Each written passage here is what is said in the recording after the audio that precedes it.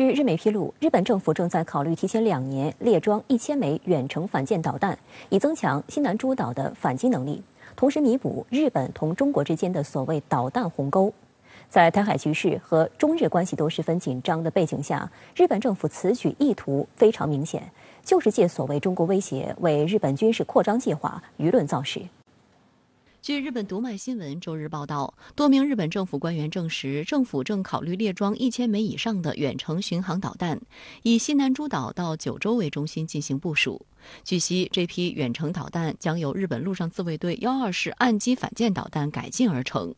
改进后，导弹射程将从两百公里扩大至一千公里。单从其射程来看，已经能够触及朝鲜和中国东部沿海地区。现有的幺二式反舰导弹来自三菱重工，一九九二年开始研发，在二零一三年富士火力综合军演中首次亮相，并于二零一五年正式部署。它是八八式反舰导弹的升级版，由一个小型涡轮喷气发动机驱动，其弹体长度约为五米，直径为三百五十毫米，使用高爆炸性弹头，发射重量为七百公斤，最大射程为两百公里。发射平台是一个八乘八卡车底盘，每辆车可携带六枚导弹。幺二式反舰导弹最为特殊的是其制导系统，它是全球唯一一款使用惯性制导加 GPS 加主动雷达制导的导弹。它采用 AM4B 主动雷达制导中程空对空导弹的雷达制导头，增加了地形匹配制导模式。最后阶段的飞行具有发射后不管的能力。它还可以在较低的高度接近目标，增强隐蔽性。二零二零年十二月，日本政府启动了对幺二式反舰导弹的改进计划，从提高射程、拓展发射平台和升级打击性能等进行全面升级。不管是外形还是性能上，都已完全不同。此外，日本还计划将该导弹改进为可从水面舰艇和战斗机上发射。有分析指出，改进后的幺二式反舰导弹，如果更换更大的燃料舱模块，就成为一款具备对地打击能力的远程巡航导弹。这透露出日本背后隐藏着不满足于防御的战略企图。实际上，几乎是一个全新的导弹，比如说发动机，啊，比如说这个所谓的隐形的这个技术，啊，再比如说和卫星通讯的这些这些技术，都已经在几年前就已经开始研制了。呃，它不管是在这个隐身的能力，还是在这个呃发射以后，然后中途通过这个卫星通讯去修正这个飞行路径的这个能力，呃，都会比以前有一个比较大的一个进步。这批远程导弹的部署地点也格外受到关注。据报道，日本西南诸岛大约有两百多个岛屿，可供日本自卫队和美军使用的有四十个左右。目前，日本正在将琉球群岛建造一条严密的岸基反舰体系。琉球群岛地处日本本土到中国台湾之间，岛屿之间相隔不过几百公里，而岛屿之间形成的海峡又是重要的海上通道。宫古海峡、大隅海峡都是进出太平洋的重要通道，特别是宫古海峡处于冲绳与宫古岛之间，距离不超过三百公里。这两个岛屿上的反舰导弹可以将宫古海峡都纳入其射程内，从而达到完全封锁海峡的目的。另外，作为琉球群岛中最南端的一座岛屿，石垣岛距台湾岛仅约二百七十多公里，距钓鱼岛约一百七十公里，距离中国大陆最近的地点只有不到五百公里。目前，日本自卫队正在石垣岛加紧建设导弹基地，以初见雏形。按照日本防卫省的计划，在今年底之前就将完成在石垣岛部署陆上自卫队的导弹部队，规模约为五百到六百人。而美日已签署军事设施共同使用防务协议，当发生紧急事态时，美军兵力以及导弹也可以进行部署。一旦在此部署远程导弹，将对地区局势产生重要影响。日方决定发展这么大规模的一个进行进攻性武力，呃，它肯定是和美国商量过的，双方是有分工的，就说帮助美国填补在这个地区所与中国所谓的这个导弹的差距。呃，自卫队可能会，呃，就是说在，呃，美军的。或者说双方联合的指挥下去攻击说美方分配给他的这些目标，呃，航空基地、机场，为这个美军进一步进入本地区，呃，美军的在全球的这个调兵遣将，去遏制中国，赢得一些时间。更加值得警惕的是，目前仍处在研发阶段的这千枚导弹，原本预定的部署时间是二零二六年以后，而如今日本政府急不可待的大幅提前了两年时间。有预测认为，这也意味着原计划于二零二六年和二零二八年完成的舰艇搭载用和战斗机搭载用的远程导弹，其开发和部署时间也很可能随之提前。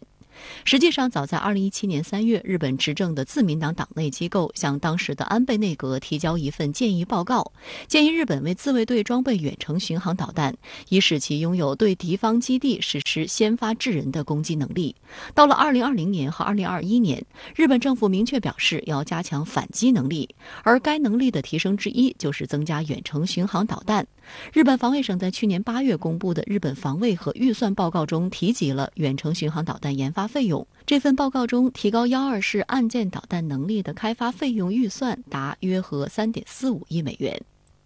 今年七月二十二号，日本政府发布了新版防卫白皮书，其中大幅新增了强调提升远程打击能力重要性的内容。该白皮书表示，鉴于周边国家的导弹威胁，有必要加强反击能力，确认敌国即将发动对日攻击之后，可以先行攻击敌方军事设施，并表示这种打击不属于先发制人的范畴，不违反国际法和日本宪法。那么，这是今年版的防卫白皮书释放出来的一个重要信号。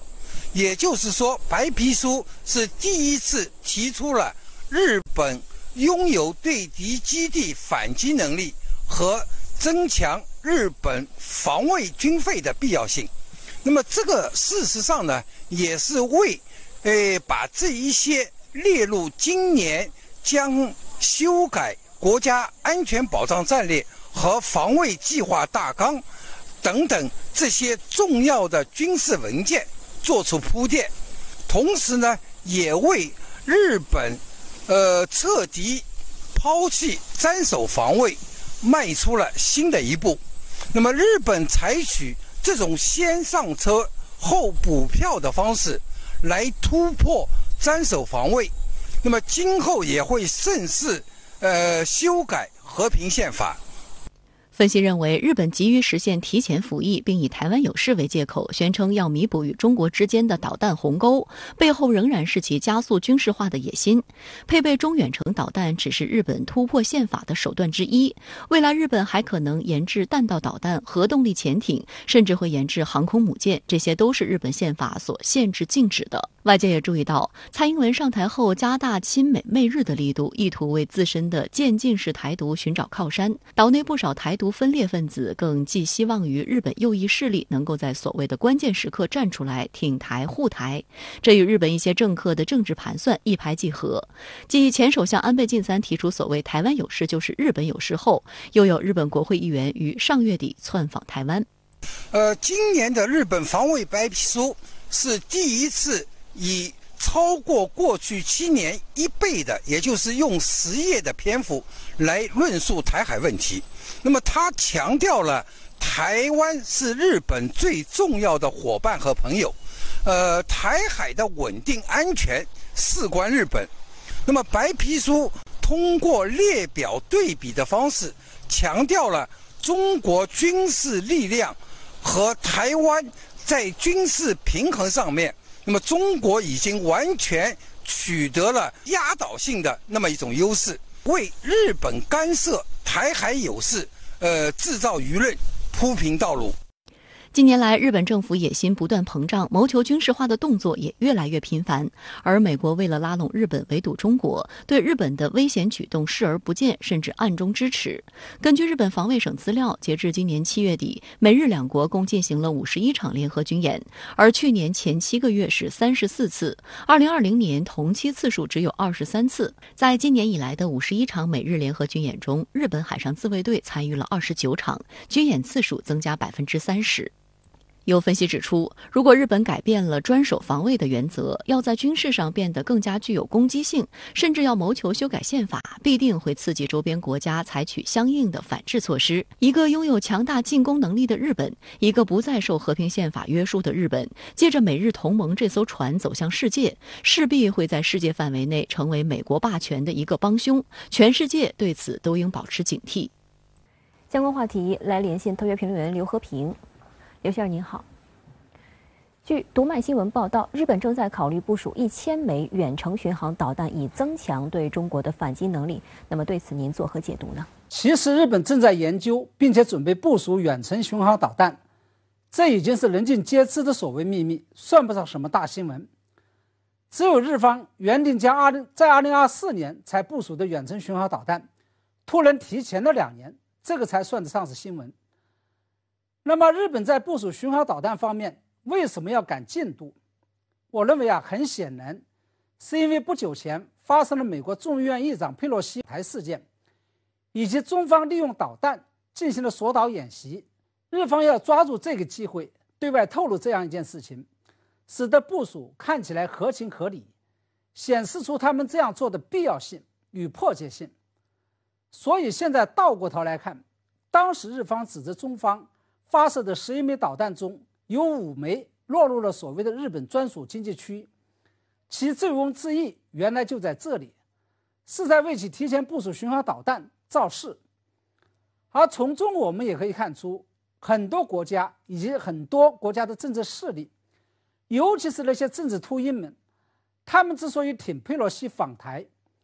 实际上是想利用这件事情刺激中国大陆来做出过激反应。能够借机捞取自己的政治利益，达到自己的政治目的。除了美国国内的民主与共和两党想利用台湾问题来竞相收割中期选举的选票，美国国内的挺台鹰派想利用这件事情来修改与台湾关系法，以及促进美台自贸协议谈判之外，日本的岸田政府也想趁机在这件事情上展示强硬。以显示自己继承了安倍的对华强硬路线，并收编了安倍派与安倍的支持者。同时，日方还想利用这件事情来修改和平宪法，以及趁机扩军备战。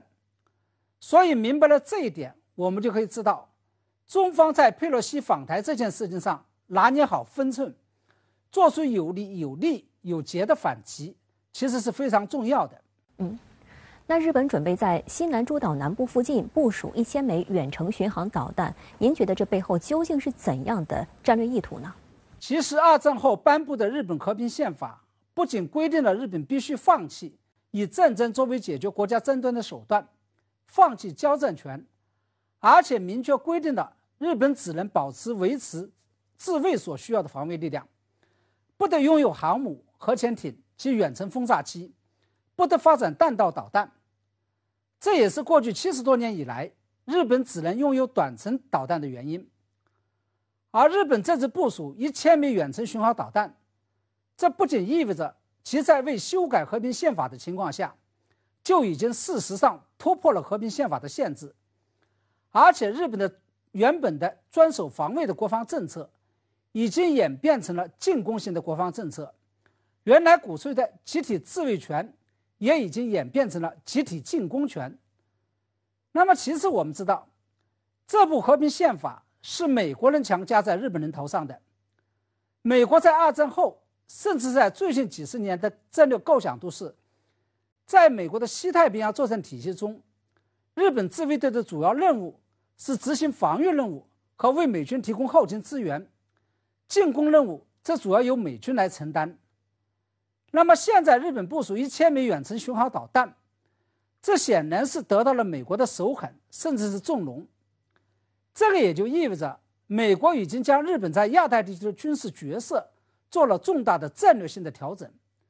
将原来的日本承担的防卫性角色转变成了进攻性的角色。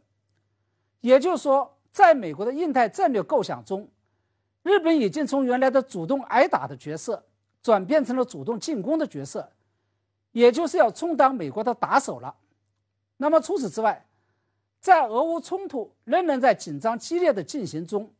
以及日本与俄罗斯的北方四岛领土主权纠纷并没有得到解决的情况下，日本仍然把这一千枚远程巡航导弹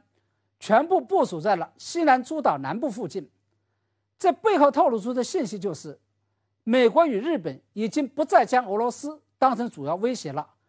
而是将战略重心完全对准了中国，尤其是对准了中国的台湾问题。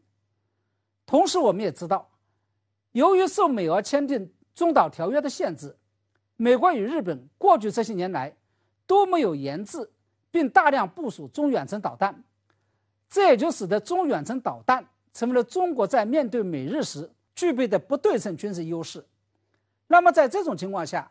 日本突然大量部署远程巡航导弹，很显然就是要对冲掉中方的不对称优势。这个也就意味着，未来中国在解决台湾问题的时候，面对的外在安全形势将会变得更为复杂和更为严峻。嗯，据公开报道，今年迄今为止，日本自卫队与美军举行的联合演习比2021年同期增加了百分之五十。那么对此，您又如何看呢？其实，美国和日本不仅是演习的频次突然大幅增加了，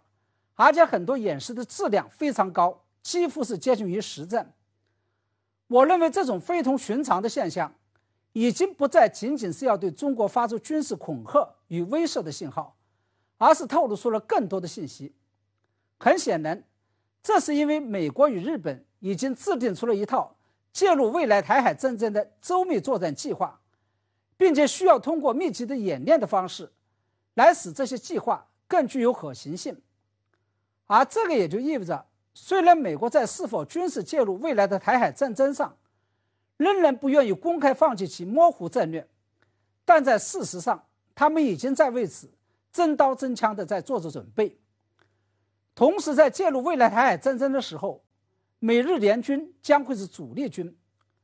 我想啊，这就是美日联合。军演频次陡然增加所带给我们的信号，对此我们要时刻保持清醒和充分的预判。佩洛西窜台闹剧引发台海局势动荡，美方挑衅在先，却反咬一口，颠倒黑白。连日来，美方官员污蔑中方过度反应，甚至妄图把搅乱地区局势的脏水泼给中国。最先出来倒打一耙的是美国驻华大使伯恩斯。在接受美国有线电视新闻网的采访时，他老调重弹，声称中国是所谓台海不稳定因素，并替佩洛西挑衅行径狡辩。对伯恩斯的此番言论，中国外交部发言人周一予以驳斥。周五，美国驻华大使伯恩斯接受美国有线电视新闻网采访时称，中国在佩洛西众议长访台问题上过度反应，他颠倒黑白，妄称中国成为台海不稳定因素，导致中美关系出现危机。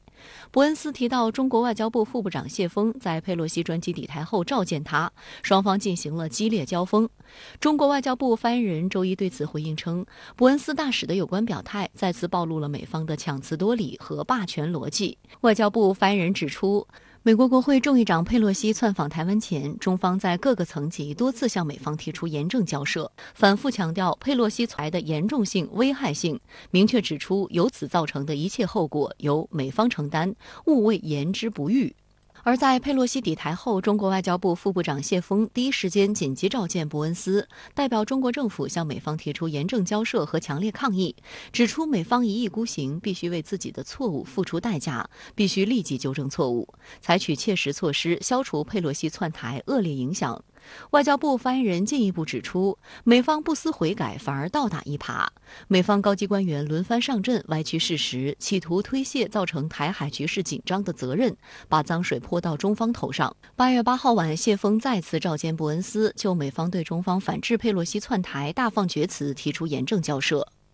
中国外交部再次明确指出，挑起危机的是美方，不是中方；改变台海现状的是美方，不是中方；破坏台海和平稳定的是美方，不是中方；在全世界，特别是在亚太耀武扬威的是美方，不是中方；挥舞制裁大棒霸凌全世界的是美方，不是中方；破坏中美关系政治基础、毫无沟通诚意的是美方，不是中方；破坏中美合作的是美方，不是中方。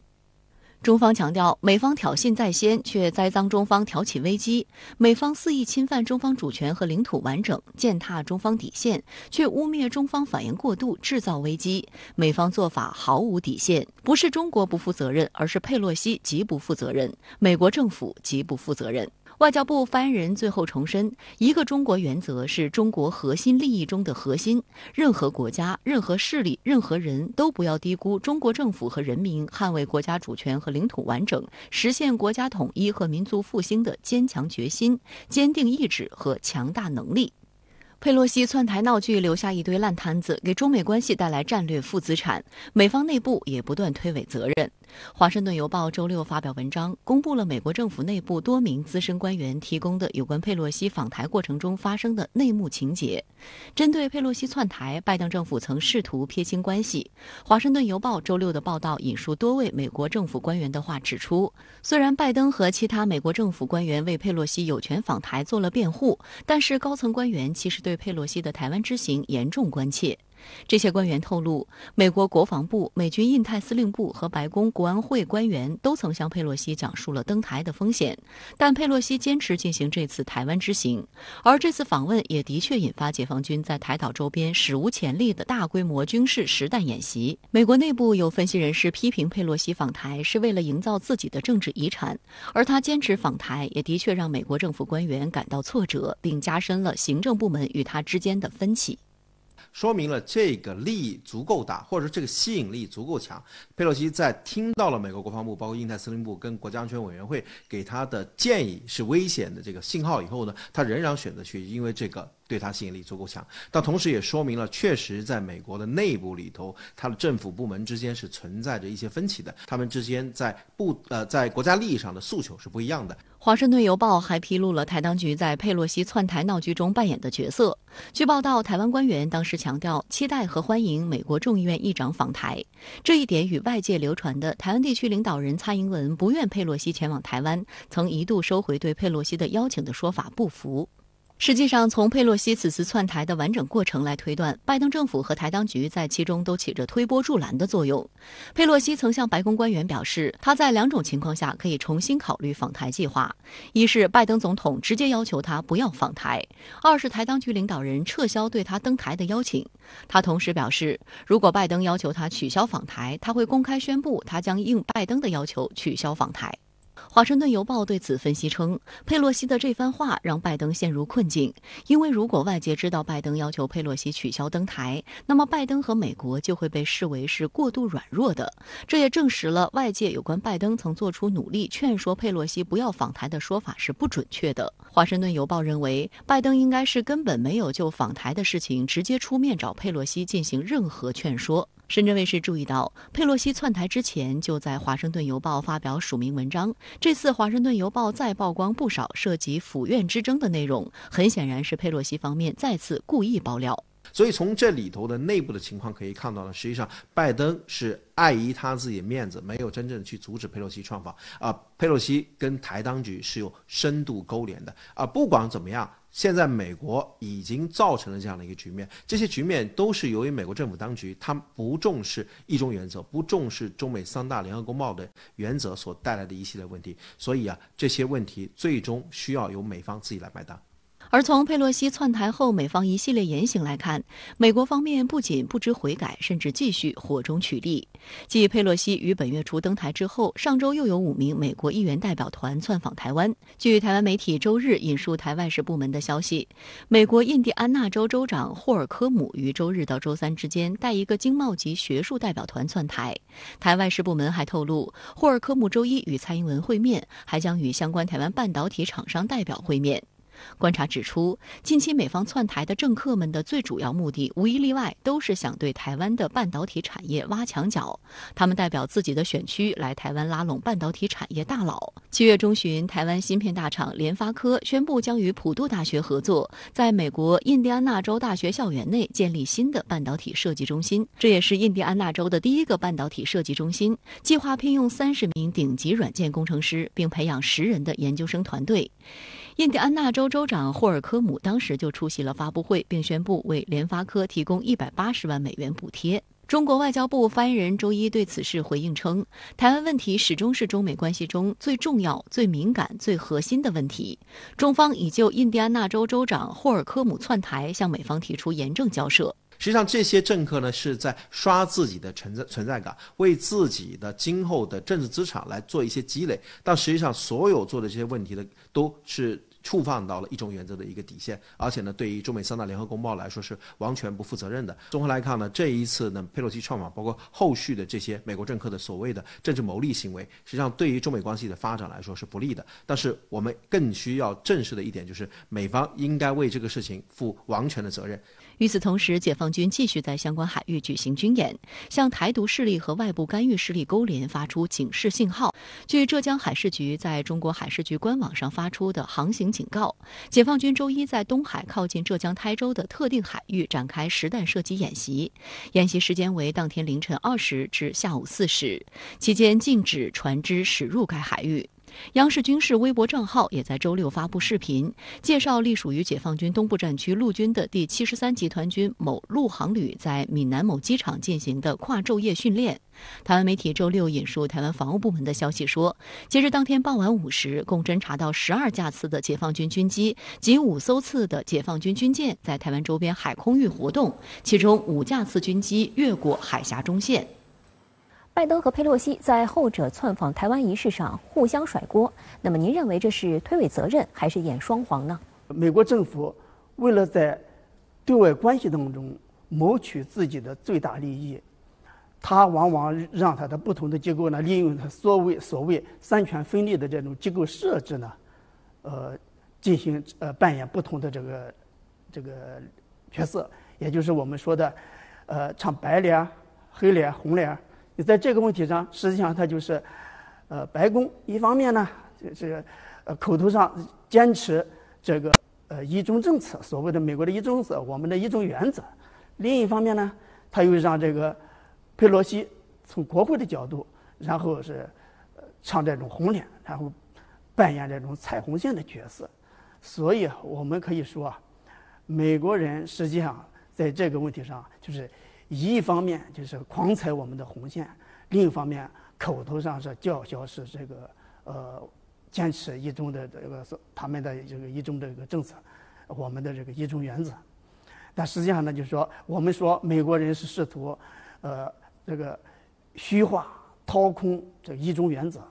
这个呢恰恰就是他掏空虚化一中的具体的一个表现。佩洛西窜台，包括周日美国印第安纳州州长霍尔科姆窜台，主要行程都包括与半导体业者见面。美国人挖台湾半导体产业墙角的自信是哪里来的呢？从佩洛西这个到现在的这个美国国会代表小组，呃，窜访这个台湾，他们有一个共同的议题，就是去，呃，呃，到访这个台湾的这个半导体产业。给这个产业半导体产业界的这个人士呢进行这个呃串联活动。实际上呢，我们可以说，这个呃佩洛西在采访回回到美国之后呢，实际上曾经解释说，他这个他此访实际上是为了贯彻拜登政府的印太战略。说白了，他就是在代替拜登总统以国会的名义在落实执行。美国的印太战略，而印太战略框架下有一个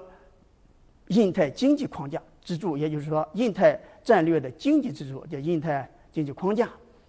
这里头呢，又有一个他们现在正在极力推动的所谓的这个呃 Chips Four，也就是说这个芯片呃四方这个联盟。那台湾作为我们的这个宝岛，台湾呢是这个。呃，全球半导体生产的重要基地，把台湾纳入到它的这种这个呃产业链联盟。另一方面呢，他此举呢，实际上大家知道，美国前不久刚刚通过了嗯芯片与科学法案，它的主要的目的呢，就是在维护美国在高科技产业，特别是芯片制造领域的这种统治地位。或者是压倒性的优势地位之外，它实际上还有一个重要的目的，就是要推动这种高端制造业的这个回流美国。那么，实际上呢，他窜访台湾，实际上也是在鼓动台湾的这种半导体产业呢到美国去投资。从经济上层面来讲，然后还有一个政治层面来讲。通过这种高科技的经济的与台湾的这种捆绑、利益捆绑，那么实际上就等于又实现了美国政府在印太战略下削弱这个地区，或者说这个呃在产业链当中这个削弱对中国这个大陆这个产业链中心、供应链中心地位的这种哦依赖。好的，谢谢刘先生在线与我们分享您的观点，谢谢。美国在台湾问题上不断对华挑衅，导致台海局势持续升温，引发亚太地区国家的普遍担忧。新加坡总理李显龙近日就表示，在中美关系紧张的情况下，可以预想到亚太地区将会出现更多地缘政治角力。他同时告诫新加坡人要为地区出现问题做好准备，以避免卷入大国竞争。新加坡总理李显龙周日先后用马来语、中文和英文等三种语言发表2022年国庆群众大会全国电视演说。在中文演说一开始，李显龙就警告，在外部环境愈发不稳定的情况下，亚太地区预计将出现更多地缘政治角力。外部的环境越来越不稳定，感觉到山雨欲来风满楼。我担心这个区域里。大国之间的博弈会更加激烈，局势也会更加紧张。亚太地区会不会出现和欧洲一样的纠纷发生冲突呢？我们不能排除这个可能性，所以要做好心理准备，团结一致应对任何危机。在长达七十分钟的英文演说中，李显龙分析了当前中美关系紧张的根源，包括意识形态和政治体制、中国在世界上日益增长的影响力以及贸易争端、南海问题等。而台湾问题无疑是导致中美关系恶化的直接原因。The U.S. and China need to work together on many pressing global issues, including climate change, pandemics, and nuclear proliferation. And their tense relationship is making this almost impossible. And this is bad news for the world. 李显龙认为，俄乌冲突外溢效应也冲击到本地区的安全。The war in Ukraine it has complicated the already strained U.S.-China relations, and also relations between China and America's partners in Asia, like Australia and Japan. We can expect more geopolitical contestation in the Asia Pacific. 谈及新加坡如何应对这些外部危险时，李显龙强调，新加坡不会在中美间选边站。Some countries will choose a side, others, like Singapore, will try our best to avoid being caught up in major power rivalry. We must stand firm on fundamental principles of international law. Work with other countries to 外界注意到，此次演说是李显龙一个月之内第三次对当前地区局势提出关切。本月八号，李显龙在发表国庆贺词时谈及地缘政治局势，他认为中美两国的关系正在恶化，如果发生误判或事故，很容易让情况更糟。U.S.-China relations is unlikely to improve anytime soon. In the next decades, our region may not be as peaceful and stable as it has been thus far. 值得注意的是，此前在八月一号，李显龙与到访新加坡的美国国会众议长佩洛西举行会面时，也曾强调稳定的中美关系对地区和平与安全的重要性，并敦促佩洛西努力与中国保持稳定的关系。新加坡呢是一个以贸易立国的国家，它非常非常。呃，倚重于全球的这种自由贸易的体系，也非常倚重于这种大国之间的和平，还有区域的稳定。佩洛西呢窜台，其实造成了区域局势的紧张，这对于新加坡的呃是非常不利的，特别是对于它这个疫后经济复苏是非常不利的。所以这个时候呢，呃，李显龙总理他站出来。呃，提出希望中美能够缓和啊，在之中呢，这个新加坡不持立场等等这方面的看法呢，其实也表达了新加坡一贯这方面的立场。在接受深圳卫视采访时，中国国际问题研究院美国研究所助理研究员刘畅表示，新加坡作为东盟唯一发达经济体，是东盟重要成员，因此其相关表态在某种程度上也代表着东南亚国家，甚至是区域国家共同的心声。本月初在柬埔寨举行的第五十五届东盟外长会，当时正值佩洛西不顾中方强烈反对，上演窜台闹剧。东盟发言人、柬埔寨副外长康富向媒体披露，参加闭门会谈的各国外长表示，希望中美这两个大国尽最大努力缓和紧张局势。We hope that you know, uh, concerned parties, uh, do not take actions that may, uh, deteriorate or escalate the tensions. Taiwan Strait, uh, will be a peaceful. Uh, uh, part of this uh, region. And I don't think that the uh, escalation of tensions will uh, help them to solve the problems. 值得注意的是，东盟除了在会议期间罕见就台海局势发表联合声明，重申支持一个中国政策之外，各成员国也发表了单独的声明，内容近似，均强调地区和平与稳定以及坚持一中。观察指出，东盟国家在中美间的利益侧重点稍有不同，但总体上都拒绝选边站队。对于绝大多数东南亚国家来说，呃，卷入大国冲突都会。让他在国际上、在区域上的这种政策选择的灵活性减少，让他被迫的把他的经济去和某一个大国去关联在一起，呃，这其实让他失去了很多发展的机会。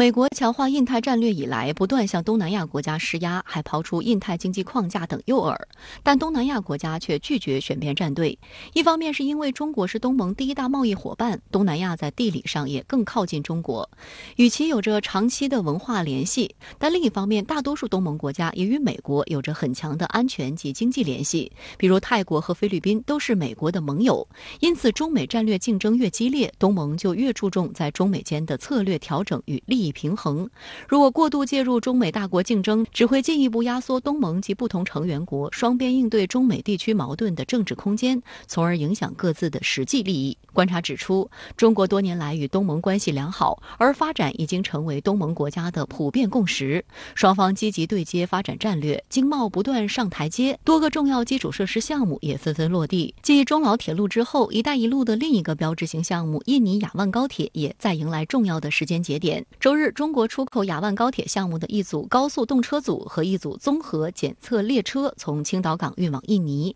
标志着中国首次出口的高铁列车正式启运。整个项目还有十组高速动车组等待交付。俄乌冲突进入第一百七十九天，俄罗斯国防部部长绍伊古周日表示，在对乌特别军事行动中，俄军三度使用了匕首高超音速导弹，性能良好。周日当天，俄军使用导弹在敖德萨地区打击了乌军存放有西方武器装备的弹药库。乌方则表示，当天在顿巴斯地区击退了俄军进攻。俄罗斯国防部周日发布公告称，在敖德萨地区，俄军使用海基口径巡航导弹摧毁了乌军一个存放有包括美制海马斯火箭弹和西方防空导弹在内的弹药库。在扎波罗热地区，俄空天军飞机摧毁了乌军第幺零二国土防御旅的一个燃料库。此外，俄军炮兵还在赫尔松地区摧毁两门美制 M 七七七榴弹炮。俄罗斯国防部长绍伊古当天还表示，在对乌特别军事行动中，俄军三度使用了匕首高超音。速导弹，并表现出很好的性能。今年三月十八号，俄空天军使用匕首高超音速导弹打击了乌克兰伊万弗兰科夫州的一处大型地下弹药库，这是军事史上高超音速导弹的首次实战。俄方近期多次提及匕首。上周四，俄国防部证实，三架搭载匕首高超音速导弹的俄军米格三幺战机已被部署在加里宁格勒地区，且处于全天候值班状态。匕首是俄军首款列装的空射型高超音速导弹，可由经过改装的米格三幺 K 截击机或图二二 M 三 M 轰炸机携带。另据绍伊古上周六透露，锆石高超音速巡航导弹现在已经入列俄军。绍伊古还称，俄军苏五七战斗机的表现很出色，俄军将继续使用苏五七战斗机。该机有着极强的抗防空系统和导弹的能力。他还说，俄罗斯正在仔细研究与乌克兰缴获的外国军事装备，并研究应对之道。在近期频频遭遇袭击的克里米亚地区，俄军加强防范，多次启动防空系统，并拦截了所有来袭目标，包括一架企图攻击黑海舰队总部的无人机。在黑海舰队驻地塞瓦斯托波尔市，该市市长周日在社交媒体上证实，当天晚上当地防空部队拦截了多个来袭的乌军目标。而乌克兰媒体报道，乌克兰武装部队总参谋部周日通报说，乌克兰军队在顿涅茨克地区的斯拉维扬斯克、巴赫穆特、阿夫杰耶夫卡等方向击退了俄军进攻。在乌克兰南部地区，俄军正在尼古拉耶夫以及赫尔松方向集结军队。乌方称，俄军加强了在黑海的军事存在，装备口径巡航导弹的俄海军舰艇数量由此前的两艘增加到五艘。在近期备受国际舆论关注的核电站厂区安全方面，上周六扎波罗热核电站周边地区四次遭遇袭击，所幸重要设施没有损坏。而与核电站一河之隔的尼科波尔市，乌方官员指俄军连夜发射至少二十五枚炮弹，一处工厂遭击中后起火，周边三千户家庭断电。更令人担忧的是，继扎波罗热核电站之后，再有核电站卷入了战斗之中。南乌克兰核电站附近的居民区上周六遭到了导弹袭击，造成十四人受伤，伤者包括儿童。南乌克兰核电站位于南南部尼古拉耶夫州的沃兹涅先斯克镇，有三个反应堆，是乌克兰第二大核电厂。乌克兰原子能公司发表声明，指责俄方发射导弹制造袭击，俄方予以否认。周日，美英法德四国领袖就在周日通话讨论乌克兰局势。四国强调核电站的安全至为重要，敦促在核电站周围保持军事克制，并且呼吁国际原子能机构的独立检查员尽快到核设施视察。另据美国政治新闻网近日报道，整个七月份，欧洲六个最大的国家首次未向乌克兰做出任何新的双边军事援助承诺，这是俄乌开战以来的首次。而且在基辅当局计划反攻之际，欧洲这些国家对乌克兰的武器援助大幅减少。俄乌战事自二月二十四号爆发到本周三，标志着俄乌军事冲突已持续半年，但和谈遥遥无期。本周三，乌克兰将庆祝第三个独立日。为表示庆祝，乌克兰首都基辅市中心赫列沙蒂克大街上展出了大批在俄乌冲突中被摧毁的俄方军事装备。乌克兰国家安全和国防委员会秘书达尼洛夫则警告称，俄罗斯正酝酿在乌克兰独立日发起挑衅。乌方情报专家正努力掌握俄方计划，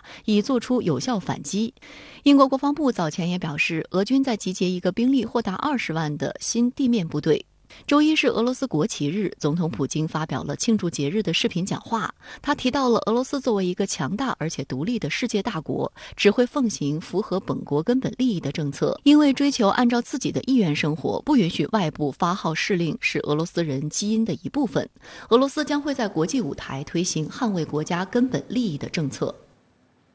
在韩国，前总统不但人走茶凉，还几乎无一例外都遭遇秋后算账，这被外界称为是青瓦台魔咒。原本人们还抱有一丝期待，希望五月刚刚卸任的韩国前总统文在寅打破这一魔咒。但本周，韩国检方一天内两次突袭总统档案馆，调查前政府涉嫌滥用职权的大动作，惊动了舆论。最大在野党抗议这是政治报复，究竟是怎么一回事？来看报道。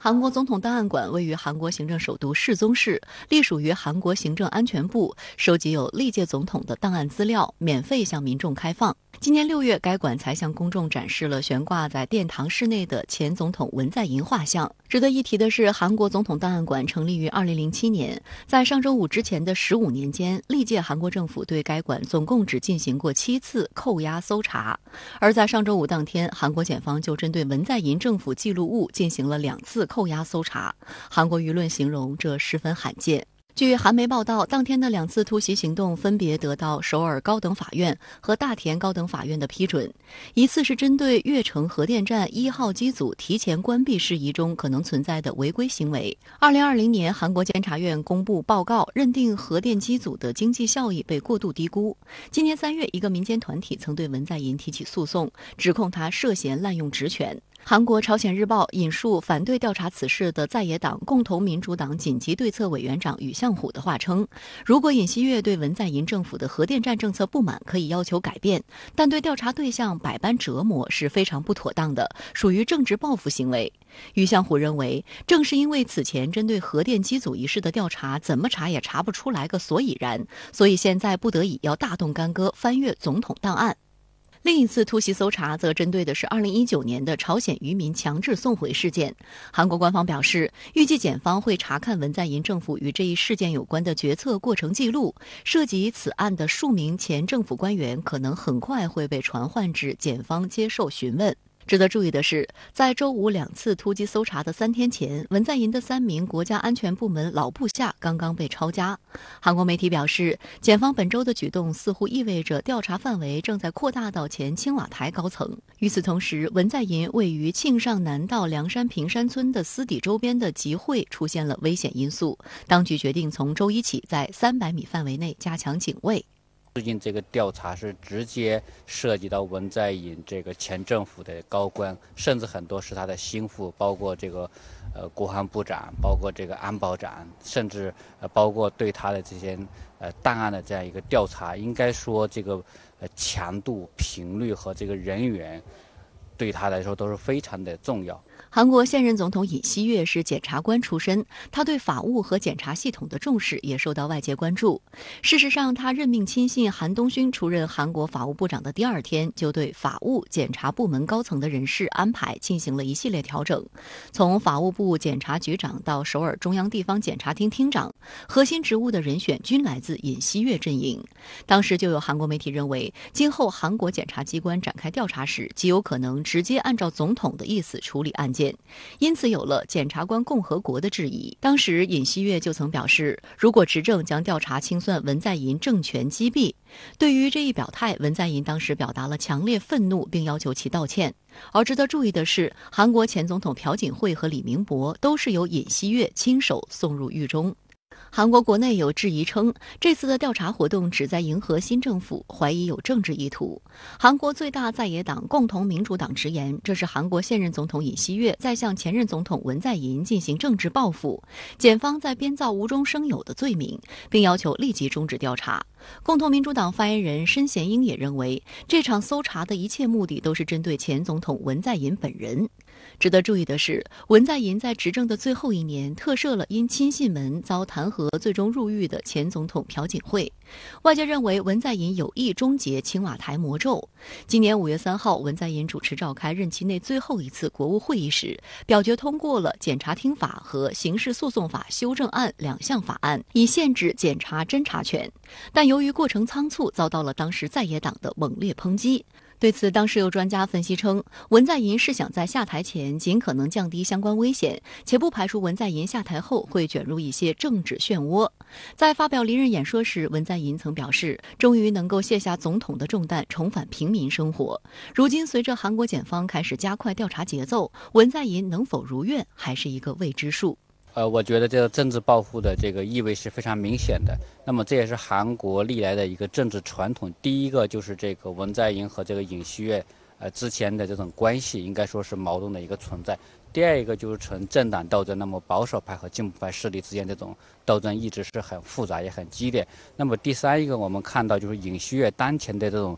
执政的这个支持度并不容乐观。那么实际上这样一个举措有可能会。转嫁一些国内的矛盾，那么也是这种政治斗争的一个需要。历史上多名韩国总统卸任后均以悲剧收场。据公开资料报道，韩国的正式总统迄今为止共有十三位，其中有九位因故未完成任期或任期结束后下场凄凉，包括一名任内遭遇暗杀，四名因政变或民运下台，一名任内因弹劾下台，四名总统卸任后被起诉判刑，以及一名在卸任后因被韩国检察院调查。选择自杀。尽管有风水学家声称魔咒的延续是因青瓦台本身的风水问题导致，尹锡悦上台后将总统办公地点从青瓦台搬出至位于龙山的韩国国防部大楼，青瓦台总统府成为历史。当时有解读认为，尹锡悦企图树立一个全新的政治家形象，打破来韩国总统的悲剧逻辑。